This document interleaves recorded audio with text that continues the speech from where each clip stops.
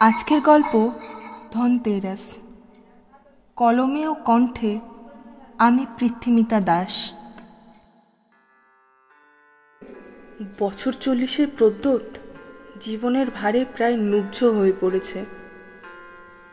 অ্যাক্সিডেন্টে স্পাইনাল কর্ডের হাড় বেশ কিছুটা এফেক্টেড। একটা সাধারণ কোম্পানির ওয়ার্কিং লেবার হিসেবেই কাজ করত প্রদ্যোত। উপার্জনও মন্দ ছিল না। অন্ততপক্ষে নিম্নবিত্ত সংসার চলে যাওয়ার মতোই। বয়স হলে মায়ের ঠিক করা মেয়ের সাথেই সংসার শুরু। বেশি কেউ তো নেই, মা, স্ত্রী আর প্রদ্যোত। ভালোভাবেই চলে সংসার। কিন্তু কপালের সুখ বেশি দিন সইল না। বিপত্তিটা এলো। কাজ করতে গিয়ে যেদিন রেলিং ঘেসে দাঁড়ানোর সময় টাল সামলাতে না পেরে একতলার ছাদ থেকে পড়ে গেল প্রদ্যোত সেদিন। সাধারণত দেরি করে না প্রদ্যোত কিন্তু কথায় বলে না, কপালে থাকলে খণ্ডা বেঁকে। ওর সাথেও ঠিক তাই হলো। ওর সাথে কাজ করে বিমল আর সুদর্শন। আসার আগে ওদের মধ্যে কথা হয়েছিল একসাথে ফিরবে সেদিন। অবশ্য আগেও বেশ কয়েকবার ফিরেছে। কিন্তু প্রজেক্ট সাইটে কিছু অসুবিধার জন্য বিমলের দেরি হয়ে যায়। আর তখনই ঘটে কাণ্ডটা। হঠাৎ ভুল করে কি একটা ভাবতে ভাবতেই যেন দুর্বল রেলিংটায় হেলান দিয়ে ধূমপান করার সময় হুড়মুড়িয়ে ভেঙে পড়ল সেটা। আর টাল সামলাতে না পেরে একতলার ছাদ থেকে সোজা নিচে পড়ে গেল প্রদ্যোত সাড়ে আটটা বাজে তখন। হ্যাঁ বোধহয় সাড়ে আটটাই বাজে। অফিসের বেশ কিছু মানুষ চলে গেছেন। ভাগ্যিস উচ্চতাটা কম ছিল। আর আওয়াজ পেয়ে বিমল, সুদর্শন ও বাকি কয়েকজন স্টাফ ধরাধরি করে ওকে সময় মতো হসপিটালে নিয়ে গিয়েছিল। নইলে হয়তো আর বাঁচানো সম্ভব হতো না। কিছুদিনের মধ্যেই রিলিজ হলো প্রদ্যোত। কিন্তু পিঠে আঘাতটার জন্য ওকে লেবারের কাছ থেকে বরখাস্ত করা হলো। তবে এককালীন কিছু টাকাও পেয়েছিল কোম্পানি থেকে। সেই দিয়েই চলেছিল বেশ কিছুদিন। বাড়ি বিক্রি করে ছোট্ট একটা ভাড়া বাড়িতে এসে উঠেছে প্রদ্যোত সপরিবারে। দিন যায়, বছর ঘোরে। সংসারের অবস্থা দেখে আর সহ্য হয় না। এদিকে গত বছর মাও গত হয়েছেন। রোগই ধরা পড়ল না। আর যখন ধরা পড়ল, তখন কিছু করার ছিল না। গত আষাঢ়ে বাৎসরিক ছিল মায়ের।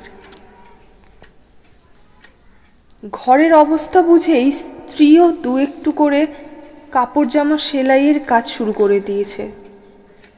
আস্তে আস্তে প্রচারের গুণে হোক বা কাজের গুণে বেশ কিছু অর্ডার আসতে থাকল। ঘুরে দাঁড়াতে শুরু করল সংসারটা। কিন্তু বর্তমানে আর কাজ নেই। করোনার করুণায় মানুষের খাওয়াই জোটে না, আবার জামা ফিটফাট, আদিক্ষেতা যত সব। দেখতে দেখতে বিশ্বকর্মা পুজো দুর্গা পুজো, লক্ষ্মী পুজো, সব চলে গেল। কিন্তু ওদের জীবনে উৎসব এসেও যেন আর আসছে না।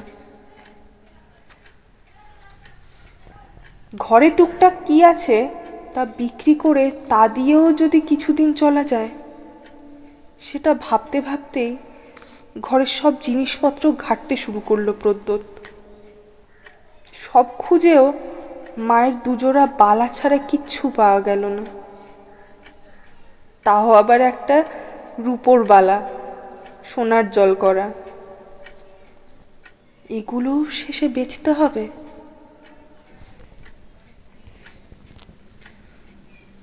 দেখতে দেখতেই চোখ পড়ে গেল একটা পেতলের প্রদীপের দিকে। আর কয়েকটা দশ টাকার ছোট্ট ঠাকুরের বাসন। মা বলতেন, ধনত্রয়োদশীতে ধাতুর কিছু কিনলে ঘরের লক্ষ্মী আসে, ধন বৃদ্ধি হয়। সত্যি তো? কালকেই তো ধনত্রয়োদশী। আর সে চলেছে মায়ের জিনিস বিক্রি করতে। ইতস্তত করতে করতেও একজোড়া বালা তুলে নিল প্রদ্যোৎ।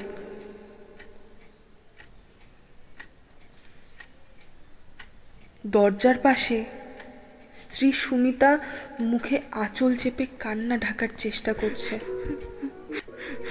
আর কিছু তো করারও নেই। প্রদ্যোৎ কিচ্ছুটি বলল না। চুপ করে রইল। আজকাল খুব দুর্বল হয়ে পড়েছে প্রদ্যোৎ আর সুমিতার দিকে তো তাকানোই যায় না। আগের জীবনের কথা, বিশেষত মায়ের কথা ভাবতে ভাবতেই সামান্য কিছু খাওয়ার পর দুপুরে ঘুমিয়ে পড়ল প্রদ্যোৎ। কিছুক্ষণ যেতেই ঠিক পছন্দের নীল পার সাদা শাড়িটা পরে সামনে এসে দাঁড়াল ওর মা। বিষণ্ন মুখে। হাতে দুজোড়া বালা। তিনি বলছেন বাবা, ধন সম্পত্তি যদি প্রয়োজনেই না লাগে, তবে ঘরে রাখা কেন হয়? তুই আজই যা, বুঝলি?